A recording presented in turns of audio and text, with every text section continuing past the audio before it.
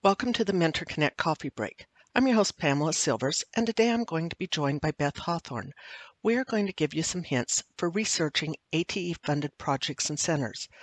As you prepare your NSF ATE proposal, you're expected to have conducted research to see who else has been funded for something similar and how that might impact your project.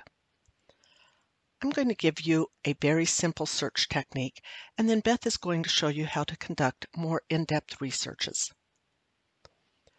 For any research, you will go to nsf.gov, then click on Awards, and then type 7412. This will show you all NSF ATE funded projects, both past and present. When I conducted the search, there are 2,058. There would be more of them now, definitely too many for you to be able to look at each one and see if it has an impact. I did change my search to only active proposals, and that still showed 460.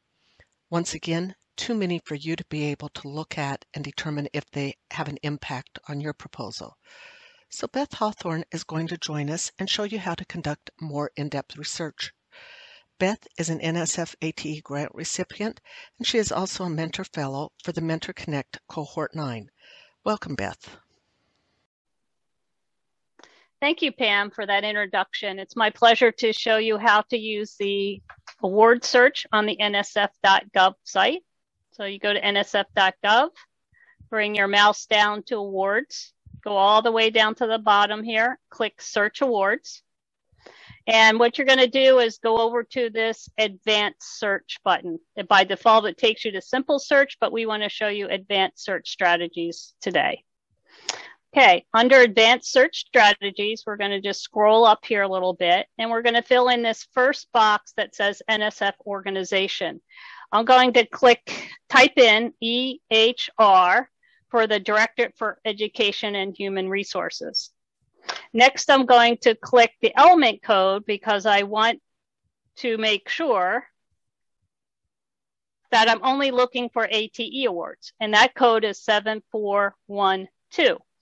Now I'm going to do a little bit uh, more narrowing of the search because there's so many databases, there's so many awards in the NSF database. So my specialty is cybersecurity. So I'm going to just type the word cyber as opposed to cybersecurity because that'll get me you know cybersecurity if it's one word cybersecurity if it's two words cyber forensics. And then i'm also going to go over here to the right under hint uh, active awards is checked but i'm going to cast a broader net and i'm going to say i'm going to look at expired awards awards that have had their life but i might learn something from them. Okay so what i did is i put in ehr I put in 7412 under element code. I came down here to keyword, and then I made sure that I have both active awards and expired awards checked. I just come down to the bottom, click the search button, and let her rip, as I say, let her rip. Okay, so now you can see up here page, there's one of three. Okay, and there's 30 per page, so that's could be 90 different awards. So uh, what I'm gonna do is I'm going to kind of refine my search a little bit more. So I come over here to this far left side of the screen where it says refine by. So there's a couple ways I can refine by. We can look at states. I'm going to click the show more and you can see the different states that have been awarded cybersecurity and ATE awards. Um, so let's take, let me see, Maryland. Okay, Maryland is five. So let me click Maryland. Okay, so now we're down to one page and let's see, one, two, three, four, five different awards. So I always like to look um, for any kind of centers that are involved because they can serve as a resource center. So if I click the National Cyber Watch Center, okay, I can see that it's at Prince George's Community College. And I happen to know that that's in Largo, Maryland. The it's an amended date, so that means they've been doing this a while. Um, we can see the program officer, they started in 2016. Their sunset or conclusion date is 2021. You can see the different award amounts.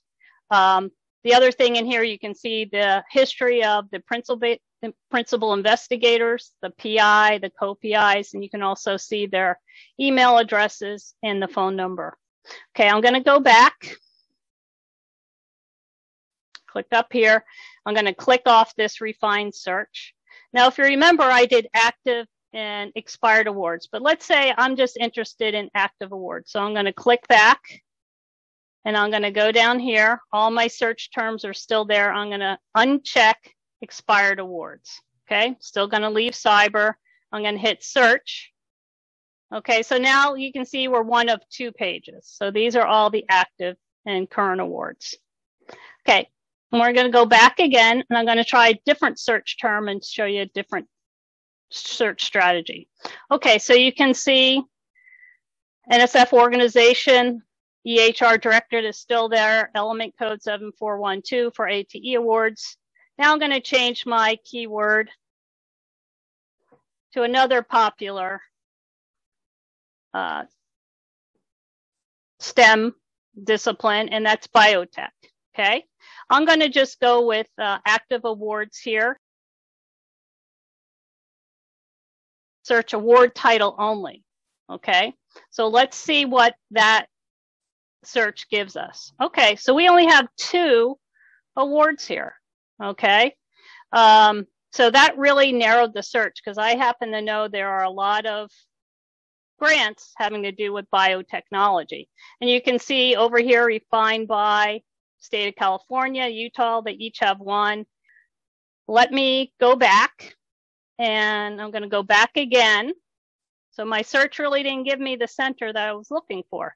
So let me maybe type biotechnology. Let's try it again. There we go. All right. So now if we look, we have one of two pages up here. Okay. We also have award amount. Now we have more than a million dollars. Okay. So now we have four. So let's look at that. All right. And let me see. Do we have something called the center? Okay. We have a resource center for laser photonics fiber optics education. So I guess they have something to do with biotechnology. Um, Innovate ATO Bio National Biotech Education Center. This is the, the one, if you're new to ATE, that can provide you some resources because it's in their uh, mission to help those as a center to help those new projects. Okay, and again, you can see the start date, the end date, the connector, the uh, contact information. Okay, let's go uh, back and uh, click off uh, award amount. Okay, so we can go back to refine search and you can look at this, the states that are involved. One last thing I want to show you. Um, if you go up here and sort by, it defaults to relevance, and that number is right here at the end of each search. Click relevance, go to start date.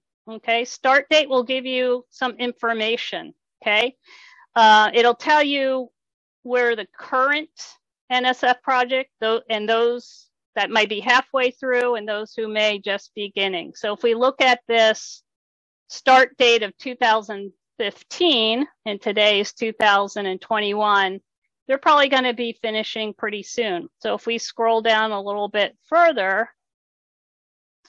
uh, and we look at this start date of expanding pathways from high school into biotechnology workforce, we see a start date of 2020, September 2020.